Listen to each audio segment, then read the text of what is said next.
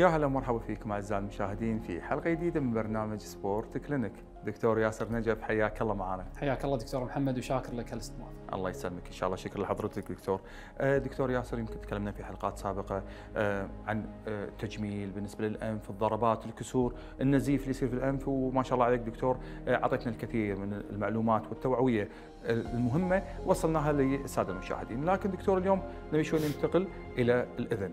دكتور يمكن الأذن ما نسمع إن فيها عمليات تجميل كثيرة لكن في بعض الناس تصير عندهم بعض المشكلات الشكلية ممكن تكون من الولادة خلقية بالنسبة للإذن. كلمني عن هالنقطه هذه دكتور.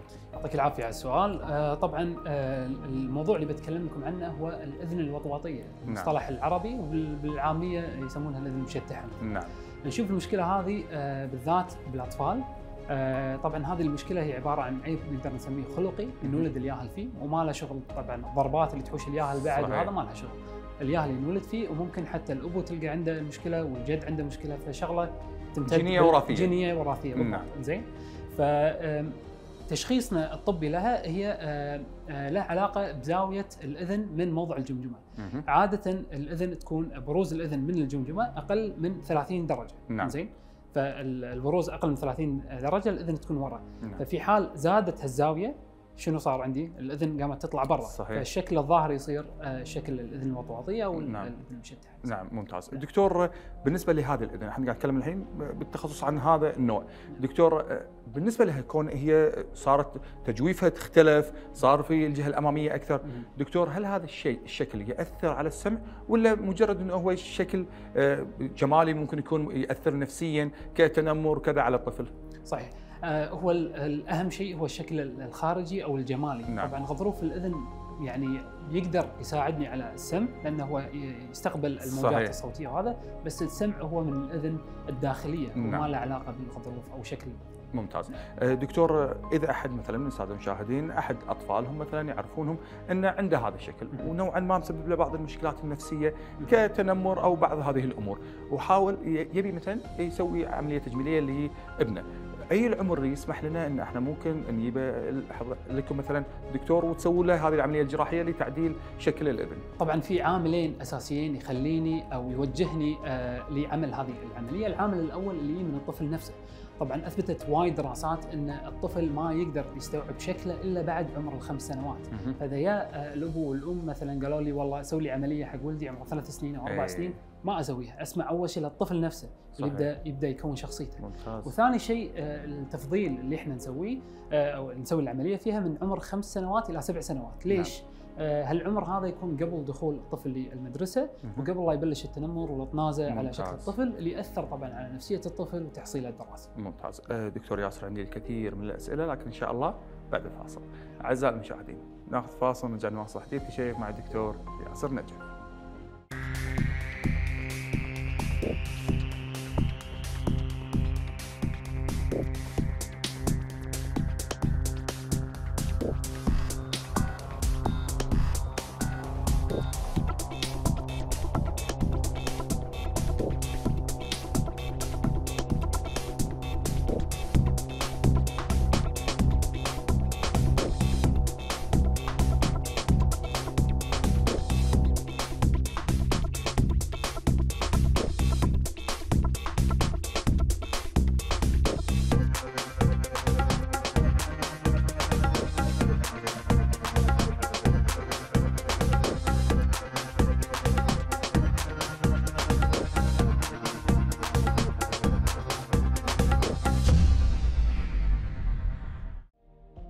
يا هلا مرحبا فيكم أعزائي المشاهدين. عندنا من بعد الفاصل. آه، دكتور ياسر كنا قاعد نتكلم عن الإذن ومثل نحاول إن إحنا نسوي العمليات التجميلية الشكلية بالنسبة لأي إذن ممكن يكون فيها خلل نوعا ما شكلي أو ممكن يسبب بعض المشكلات النفسية للأطفال.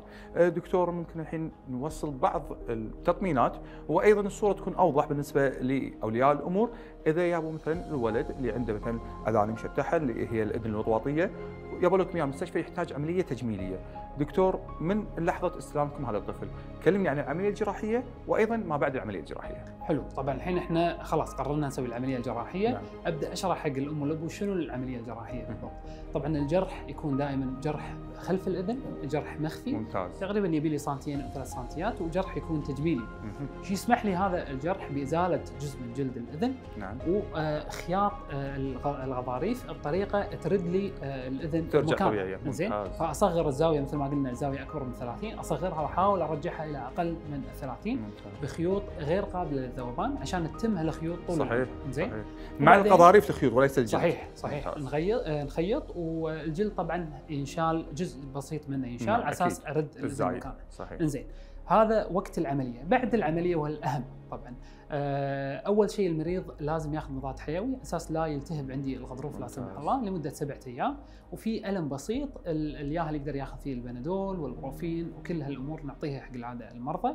والشاش وال- آه، والفتايل اللي قلنا عنها تنحط آه، وتسكر لي المكان يعني تحافظ لي على. الزاوية نحطها لمدة أسبوع وبعدين أنا شخصيا أشيلها وبعدين أعطي حق الياهل ال band اللي يستخدمونه بالسباحة مثلا صحيح آه، خلال فترة النوم لمدة أربع إلى ست أسابيع عشان يحافظ لي على مكان الأذن آه، صحيح. ممتاز يعني دكتور أنا يعني قاعد أحسب وياك نوعا ما كأرقام وكأمور بسيطة وسهلة يعني ما تحتاج أيضا حتى عناية ما بعد العملية صحيح طبعا ال- العناية إن أهم شيء الياهل ما يحصل له كدمة على المكان أها. أساس لا آه، يطلع آه، شيء يعني مثلا يطلع دمان أو شيء من.